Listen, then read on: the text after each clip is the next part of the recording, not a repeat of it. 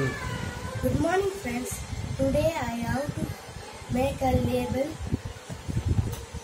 I have bring a jar. In the jar I have in pepper and jeera. So first we have to make a label. First measure the bottle size and Take a scale and pencil, draw a line.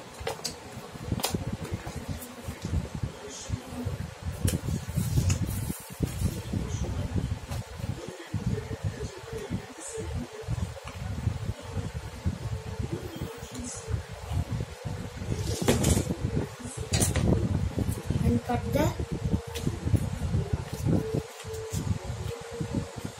extra paper.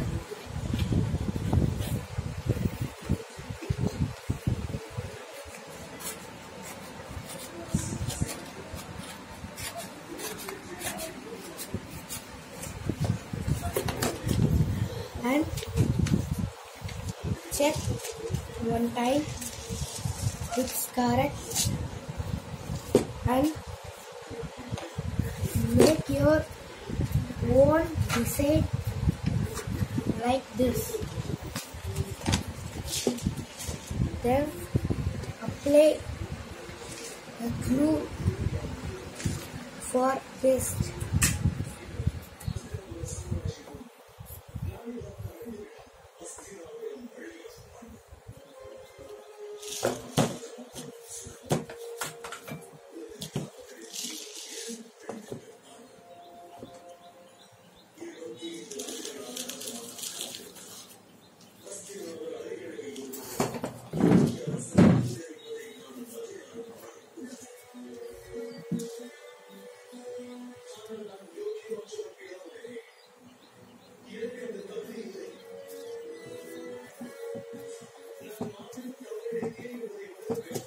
Now I make a label for the jar.